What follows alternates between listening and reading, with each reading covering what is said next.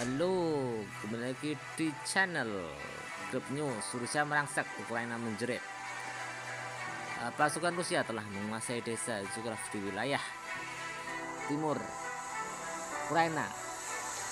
Bangunan lain pertemuan puncak sekutu Ukraina telah digelar di pangkalan udara Ramstein di Jerman. Presiden Ukraina Volodymyr Zelensky pada kesempatan itu menyuruhkan agar negara berat memasuk lebih banyak dari jarak jauh Zelensky yang juga mohon agar berat mencapai pembatasan penggunaannya untuk menyerang target seperti lapangan udara di dalam Rusia. Secara terpisah Zelensky juga menyatakan khawatirnya tentang kebijakan mitra berat dan kecepatan pengiriman senjata. Amerika Serikat telah memperingatkan tidak ada satu kemampuan yang akan mengubah perang untuk Ukraina demi keuntungan Kiev. Menteri Pertahanan AS Lloyd Austin menolak gagasan bahwa mengizinkan serangan dalam dalam Rusia akan menjadi pengubah permainan.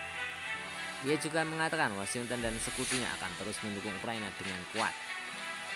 Austin mengatakan Rusia telah memindahkan pesawat yang meluncurkan bom luncur ke Ukraina di luar jangkauan rudal atom yang dipasok AS. Austin mengumumkan bantuan militer AS senilai 250 juta untuk Ukraina ada pada pertemuan Ramstein.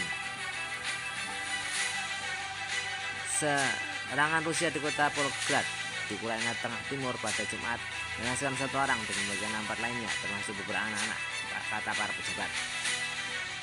Lima rudal balistik Iskander tembakan dari wilayah Rusia menuju Volgograd di wilayah kata Angkatan Udara Ukraina. Serangan itu menyebabkan beberapa kebaran di kota itu termasuk di sebuah apartemen di gedung bertingkat. Rusia secara teratur menyerang Volgograd rumah bagi pabrik yang memproduksi bahan meledak. Bagaimana menurut kalian? Silakan komentar